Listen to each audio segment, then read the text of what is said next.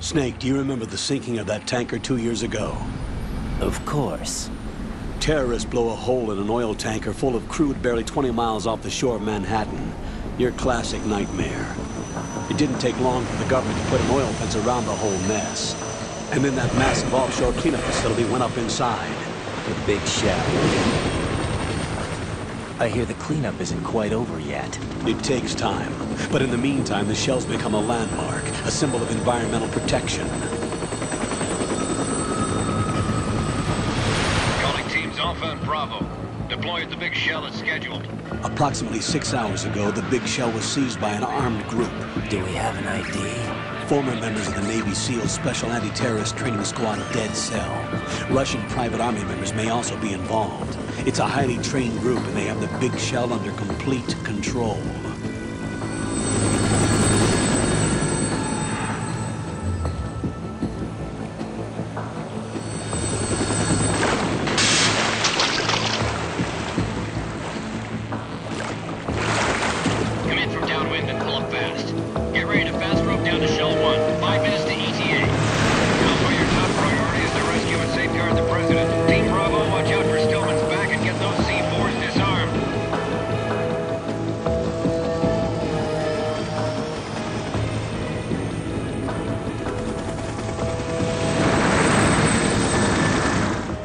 What are their demands? $30 billion. $30 billion.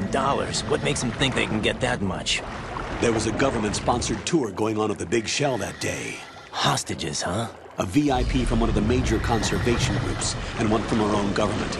The most important person in a sense, The most important person? James Johnson. The president? Unless the demands are met, the terrorists intend to blow the big shell out of the water. And the crude will ignite, turning the Manhattan Harbor into an inferno. That's not the worst case scenario. If the chlorides being used to decontaminate the seawater go up with the oil, toxins containing catastrophic levels of dioxins will be released. In other words, the bay's ecosystem will be wiped out, and the sea will turn into a toxic soup for centuries, becoming the worst environmental disaster in history.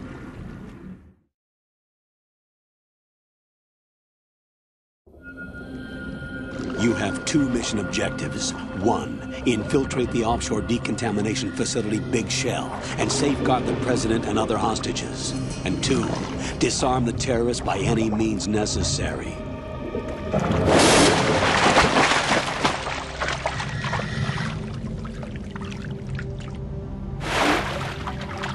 You should know that SEAL Team 10 is also conducting a rescue operation.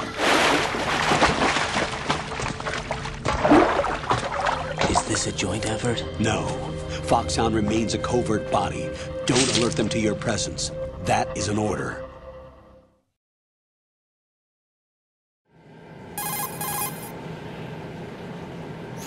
This is Snake. I'm now inside strut A of Shell 1. How are things? We're in luck. Looks like there are no sentries posted here. What's the visibility? Definitely The lights on the plant struts are functioning. I won't have to use the IR goggles. Any problems? There was a brand new hole cut through the oil fence. There's someone else besides me that wanted to get in badly. That's not possible. What about SEAL Team 10? They landed on the roof of the big shell as planned. And by the way, Snake, we're changing your code name for all following communication. What's wrong with Snake? Just a precaution. You are now designated Raiden. All right, Raiden. You've already covered infiltration and VR training. I've completed 300 missions in VR. I feel like some kind of legendary mercenary. Okay, we'll skip that part. Make sure nobody sees you. If you need to, contact me by codec. The frequency is 140.85. When you want to use the codec, push the back button. When we need to reach you, contact you, the codec will beep. When you hear that noise, press the back button. The codec's receiver directly stimulates the small bones of your ear. No one but you will be able to hear it. All right. I'll contact you if anything changes. First, make your way to the upper section of the big shell. How do I get up to the next level? There's an elevator at the far end of that area. Use that. Sounds good. Your new sneaking suit uses electrofiber technology, a byproduct of fiber optics research. The texture isn't far removed from rubber, but the material protects against a wide range of toxic substances. The suit itself has a wide array of built-in sensors. It is referred to as smart skin in military R&D. Data about damage to different regions of the body, including blood loss, is exchanged between the suit and the intravenous nanomachines to create a feedback system. There's a lot of pressure on my torso. Relax. The suit applies varying pressure to major internal organs to maximize performance and safeguard their functions. They call this the skull suit in Foxhound. Skull suit seems appropriate somehow.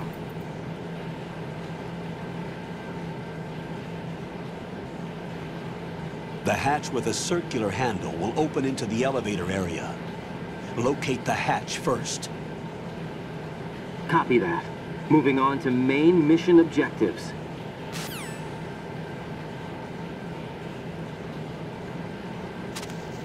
What's up, ladies and gents? Centerstrain 01 is back at you with more Metal Gear Solid 2. We are continuing on with our walkthrough here, completely stealth.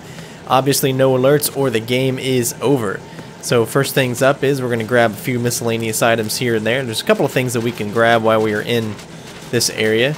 And the first one is going to be this ration all the way over here. There's actually a couple of rations in this room. Of course, you guys know me. I'm going to be nice and stealthy, just grabbing a few collectibles here and there, you know, maybe a few dog tags, whatnot. Um, but uh, thank you guys for commenting and rating on the uh, first couple of videos for the uh, tanker part of the game, which I think is, to me at least, the best part of the game. But, uh, you know, this is still a great game, and it was still awesome to play back in the day, and we're hopefully going to do it justice here, so... So as I kind of get used to the controls again, First thing we're going to do here is pick up some goodies. Which the first goodie will be down here, except for the ration. Got your feet wet? These are the basic controls for swimming. Stroke the water and move forward by pushing the punch button. Push it in rapid succession to swim faster. Change your heading with the left stick. Up will take you up, down takes you lower, left and right to face those directions. The O2 gauge will appear under your life gauge while you're underwater. The gauge corresponds to the amount of air you can hold from a single deep breath. Once the O2 gauge falls to zero, the life gauge will start to drop. You need to be aware of that. So I don't know if anyone else noticed, but it actually sounds really weird. Uh, sometimes the speech from uh, the Colonel is like different. I don't know if any of you guys noticed that, but I definitely did. Like maybe they recorded it after they recorded his original audio, or maybe it wasn't even him. But uh, hopefully I'm not the only one that actually thinks that. So, uh, let's see here. Anything special? Got some nice bugs here. Alright, so I think that's pretty much it as far as that goes. I think there's some collectibles and whatnot in here. I think should be one more ration if I'm not mistaken.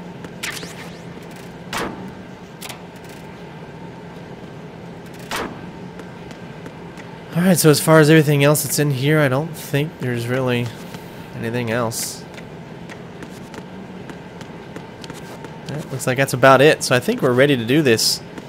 Hopefully we're going to have lots of fun. Hopefully you guys will enjoy. Ah, haha. Gotcha. There is one more thing, and I'm not going to forget about that. Just wanted to see if you guys would remember. I knew you would. Some of you were like, what? Don't forget it. We're going to pick up the shaver. You don't have to, but it's still fun. Oh, what? Hmm. What's that? What could that right there possibly be? Well, I guess we'll find out later.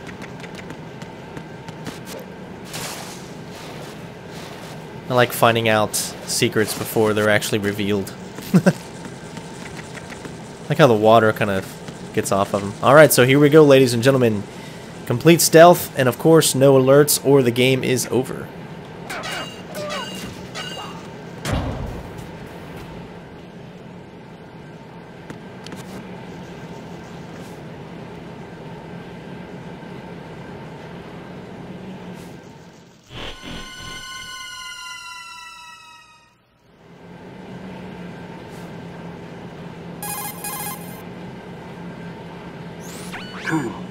I've sighted an enemy sentry. AN-94 and a Makarov. Those grenades, all his equipment, is Russian-made. Must be a Gurlukovich man. not. Gurlukovich? A Russian private army that was in line to work with the Shadow Moses takeover group four years ago. What's their stake in this one? They must have made a deal, an arrangement with the terrorists. They become a band of mercenaries, an army without a country. Hmm, looks like we got someone else infiltrating besides us. I wonder who that could be.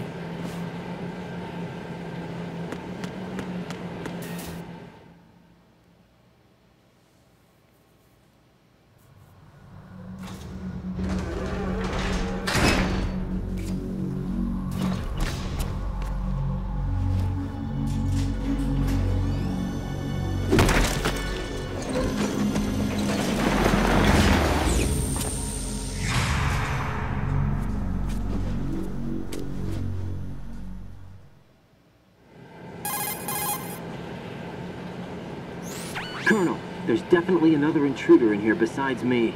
That's not a possibility. Not a team. Looks like a solo job. One man. We may not know who he is, but he managed to take care of every sentry in the area. They're all out cold. Whoever he is, he's got some skills. We need to get an ID. But for now, you can take advantage of the situation and get to work. There's a terminal in front of the elevator. A node.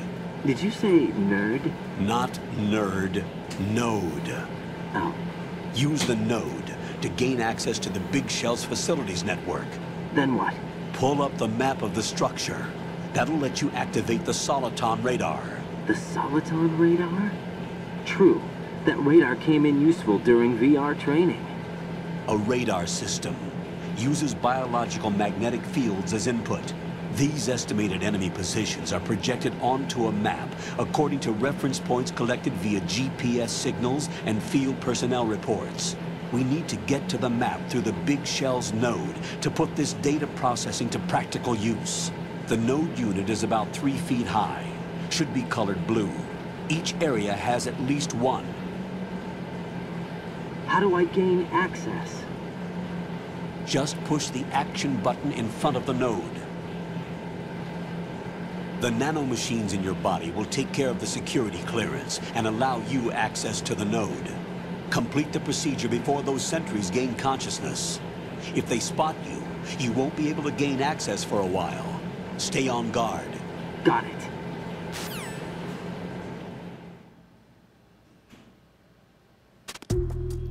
Alright, so we actually have a few minutes here. Now, since we are on the harder difficulty levels, there's actually some extra guards and whatnot, so you gotta watch out for them. Raiden, you won't be able to use any of the enemy's equipment. Why not? You should know that all active weapons are equipped with a personal identification system. The owner enters their required user ID information during the weapon registration or at the start of a mission. If anyone other than the registered user tries to fire the weapon, the ID system will not authorize the action. But these are black market Russian weapons. How can they be equipped with identification functionality? They must have been customized by the terrorists themselves. These are professionals we're dealing with, and they certainly won't let their own equipment be used against them. I'm guessing it's the same for the Navy SEALs gear? Right. How am I supposed to procure weapons then? Find the ones that haven't yet been individualized. Everything you find in the item box is clean. You should know this from your VR training. Okay, I know those. Items in the item box are yours to use at will. They will be your supply source with regards to weaponry and gear. Alright, so since we have more enemies, obviously the strategies might be different if you're just playing on normal or whatnot. Looks like we got another ration over here. And we need to get our first node. So let's do it.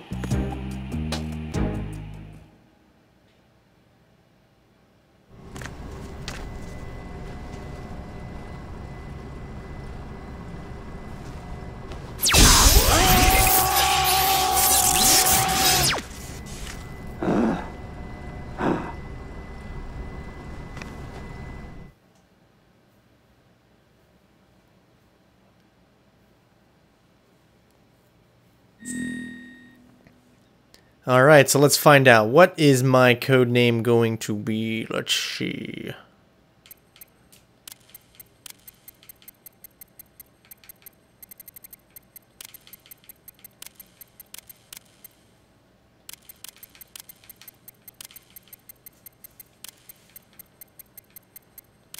Schinter von Strain.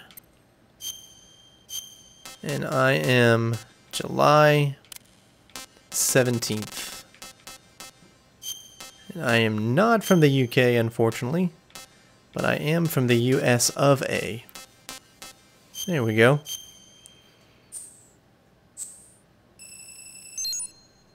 I uh, did turn up the brightness for you guys, so hopefully it's a little bit easier for you guys to see. Unfortunately, this game doesn't have its own brightness, so I had to use the brightness that's inside the capture, which might not make it look as crystal clear, but uh, hopefully uh, you guys will like it. Alright, so I think everything's set up the way I want it, and we are going to continue.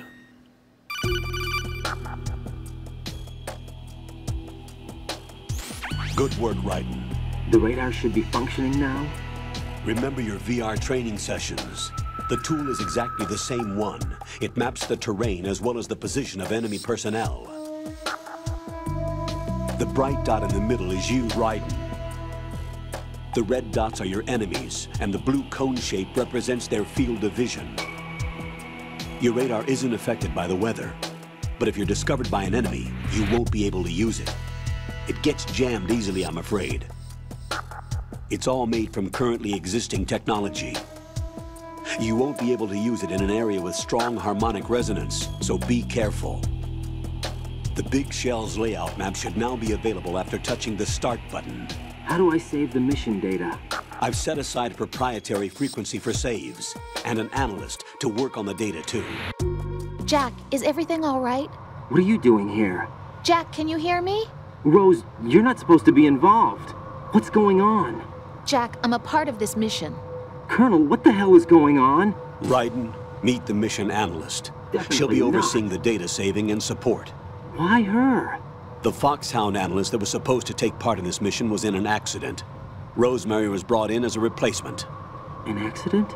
And according to the files, she knows you better than anybody else.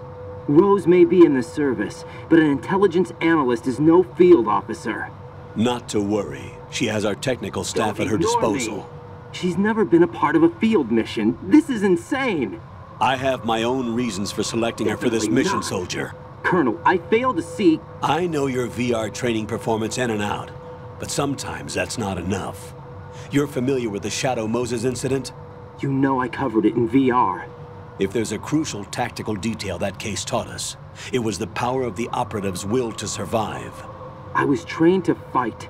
My personal feelings have no place in a mission. We've learned that it doesn't work that way. And on the field, you need all the help you can get. Jack, you're stuck with me whether you like it or not. Rose, You need someone to watch your back. But I have conditions that need to be met, Colonel. What is it? I'll perform my duties and save that mission data, but I'm aware that technically I'm not part of the mission control team. After all, I'm just a normal girl who's worried about Jack. But that means, Colonel, that I am not required to follow your orders outside of my immediate duties. Jack is not simply a field personnel for me to track. His safety comes first to me, not the mission. And because of that, I will be monitoring and keeping a record of every communication you have with him, Colonel. Given the circumstances, you're free to do what you see fit. Hey, I prefer this to being kept in the dark waiting. I'd like to make a request, if I may. Of course. His handle is Raiden. For the duration of the mission, could you call him that? Yes, sir. All right, Raiden. Let me know when you're ready to turn in a save. The proprietary save frequency is 140.96. I just switched frequencies. Jack, what? do you know what day it is tomorrow? April 30th. Is there something special about it? Isn't there? I can't remember. I'm sorry. Oh well, I'll keep trying weirdo. until I hear the answer. I'm gonna let you go now, Jack. Take care.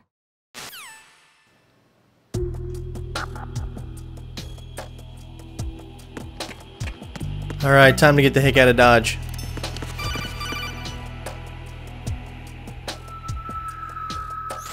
Raiden, the enemy sentry is regaining consciousness. Be careful, Jack. Find somewhere to hide until the elevator arrives. You must stay out of sight.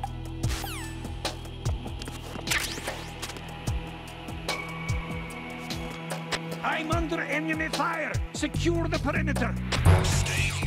So I was thinking, you know what would be really cool? If Hideo Kojima would make a DLC for this game, but let you play through the tanker, or excuse me, the plant chapter as none other than Snake himself, just to see exactly what he was doing. I think that would be really cool. If you guys agree, you know, let me know. I, I just, I don't know why I thought of that, but I was like, that would be really cool if we got the chance to do that. Alright, so you gotta wait patiently here.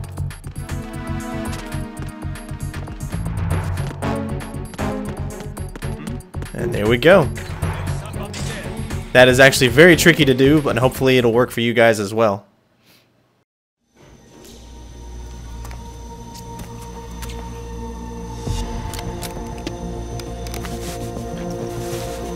The terrorists call themselves Sons of Liberty.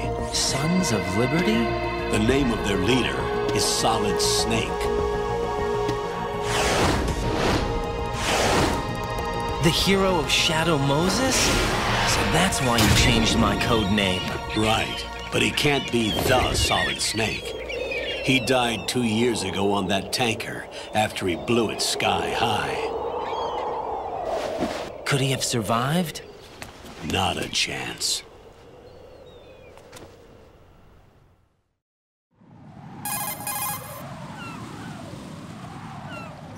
Colonel, I'm on the roof. There are no sentries, but it would only take one to spot me in this light. You never had daylight VR training after all.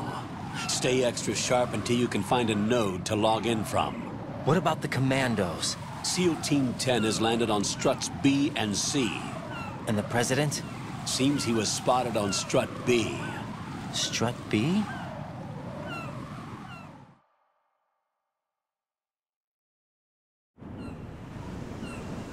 The big shell is comprised of shells 1 and 2.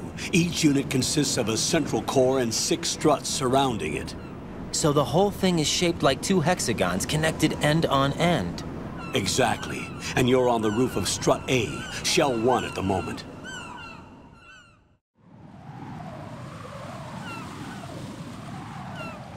First, get to a node. Log into the network. Got it. Jack, do you remember what day tomorrow is? That again. I'm sorry, but I still don't have a clue. That's okay. What is it, Rose? Talk to me. I'd rather you figure it out. It's important. How important? Important enough? And we'll talk about it tomorrow. weirdo. Why not now? Tomorrow seems more appropriate. I need all the help I can get so that I won't chicken out anyway. Is that the reason you decided to be part of this mission? okay. I'm gonna finish this thing by tomorrow no matter what. You know I'll do everything I can to help you. Rose, there's something I need you to do as an analyst. What is it? It has to do with Solid Snake. The leader of this takeover incident is claiming that he's Snake himself. The legendary mercenary? Hmm. I need as much data on him as possible. Everything they have on him after the Shadow Moses incident. He's dead now, isn't he? Yes. Should be a burial record somewhere, too. You should be able to request top-level security clearance from the Colonel. That should get us into the most classified material. I'm on it. I'll contact you as soon as I find out something.